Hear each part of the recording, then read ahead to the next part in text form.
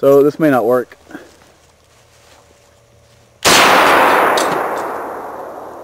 Or maybe it will.